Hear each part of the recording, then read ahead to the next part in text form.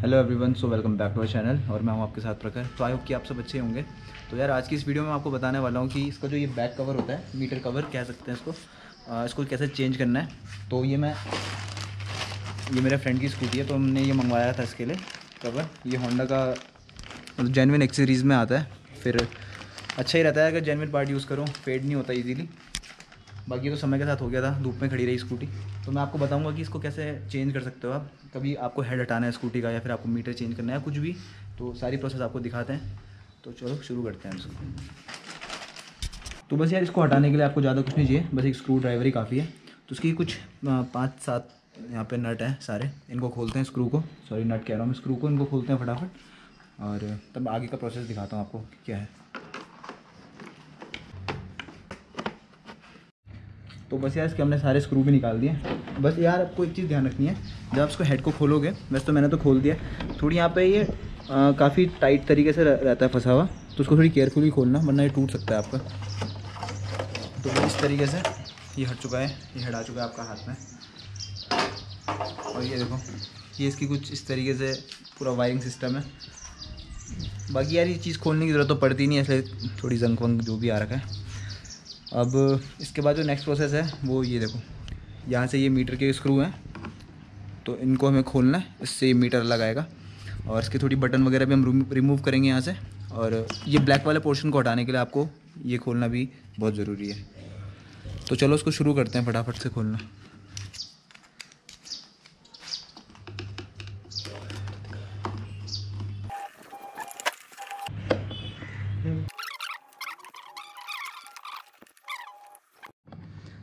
तो बस यार इस तरीके से ये तीन स्क्रू आपने खोल दिए।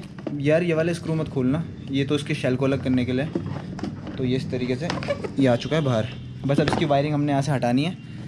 और बस अब ये चेंज होने चेंज होने के लिए रेडी है। तो बस ये वायरिंग यहाँ से खोलनी है, ये देखो। इसको ऐसे प्रेस करके और आपको ये निकालना होता है बस। तो यार पहले मैं सोच रहा था कि इसको हटाए बिना ही निकलेगा नहीं, लेकिन बटन एकदम क्लियरली बाहर आ रहा है। तो बस आपको ना यहाँ पे थोड़ा सा प्रेस करना है साइड से इसके, यहाँ पे और दोनों साइड से। और आपको ये बटन ऐसे इजीली बाहर आ जाएगा। ये। बस, अब इसको आपको इस तरीके से साइड से यहाँ से निकाल देना अगर यहाँ से नहीं निकल पाएगा तो फिर हमें ये हटाने पड़ेंगे। शायद से जैसे ये वाला नहीं निकल रहा है। तो इसमें, इसीलिए मैं कह रहा था कि हमें खोलना पड़ेंगे जैसे अभी ये। तो जहाँ पे नेसेसरी है, वहाँ पे हटा देना, वरना कोई ऐसी खास ज़रूरत है नहीं। सेम प्रोसेस आपको रिपीट करना है दोनों साइड से और फिर मैं आपको पूरा खोल के दिखाता हूँ ये हेड आ चुका है बाहर और ये इसके बटन्स हैं। तो अभी इसके इंस्टॉलेशन में आपको दिखाऊँगा कैसे कैसे करनी है। और आपको नया वाला दिखाता हूँ कैसे है। फ़र्क दिखाते हैं दोनों। में तो ये देखो भाई। कितना ज़्यादा फ़र्क आ रहा है। और ये भी थोड़ी इसलिए ब्लैक दिख रहा है क्योंकि हमने इसमें स्प्रे किया था, जो कि सक्सेसफुल नहीं था। और बस अब पहले इसको एक बार चला के देखते हैं कैसी लग रही है कैसा फील आ रहा है चलाने में।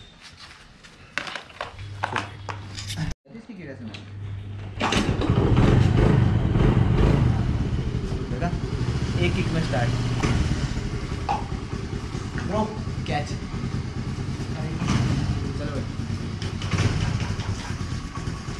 काफ़ी टाइम बाद चला रहा हूँ यार मतलब पहले तो हम इसको पूरा हटा के चलाते थे। आज ऐसे चला रहे हैं। थोड़ी डिफरेंट से लग रहा है मज़ा आ रही है भाई। पहली तो इतनी लाइट है आगे से। और मस्त लग रही है अभी। क्या बोलते हैं फिर से हटाते हैं सारा ताम जाम है निखिल अब रहने देते हैं ना। वो तो पूरा हैंडल वैंडल चेंज करा के करते हैं सारा। चल वापस ही ले चलते हैं क्यों?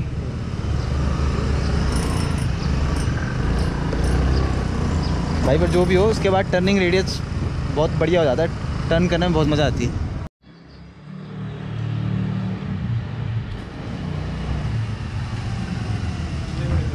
मज़ा आ गया भाई। तो बढ़िया आ रहा है चलाने में। और कुछ आया ना? मेन है इंसान खुश होना चाहिए। क्यों भाई? हम्म, क्या कह रहे हैं इस पर आपका? तो बस यार अब मैं दिखाता हूँ आपको इसके बटन इंस्टॉल करके इसमें। तो ये तो है इसकी लाइट का। ये लगेगा डायरेक्ट यहाँ पे। थोड़ा सा ट्रिकी है इसको ये घुमा के हल्का सा प्रेस करना है। ये आ चुका है ये इसकी सेल्फ की।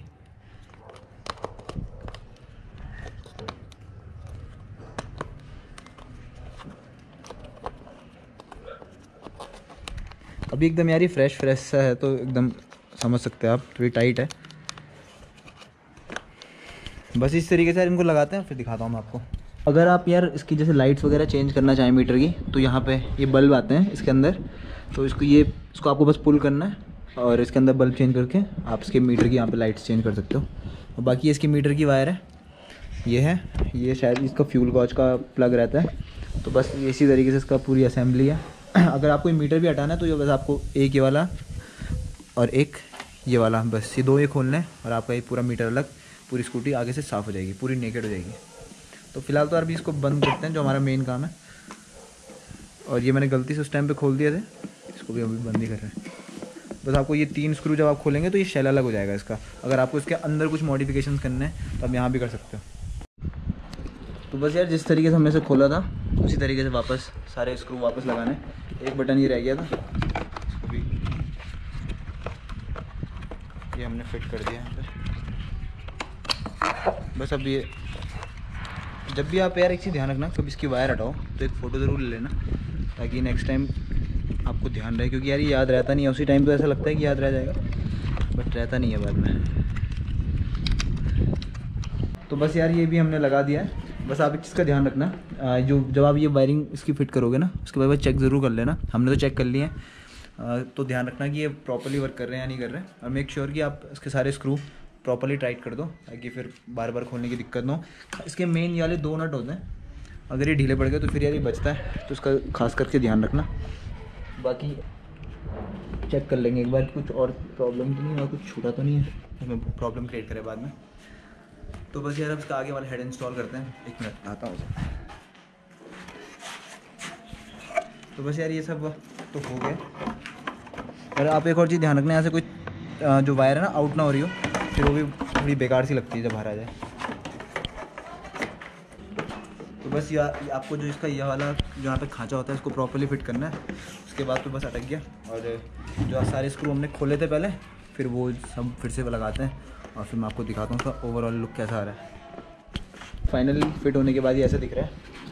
आगे से पूरा ये फिट कर दिया प्रॉपरली और बहुत अच्छा लुक आ रहा है। पूरा ऐसा यहाँ ऊपर से पूरा नया लुक आ रहा है। तो आई होप कि आपको भी अच्छा लगा होगा, पसंद आया होगा। तो यार, अगर पसंद आया होगा तो वीडियो को लाइक ज़रूर करना और जो चैनल पर नया है तो सब्सक्राइब करना मत भूलना। बाकी जल्दी मिलेंगे एक नेक्स्ट वीडियो में और टिल देन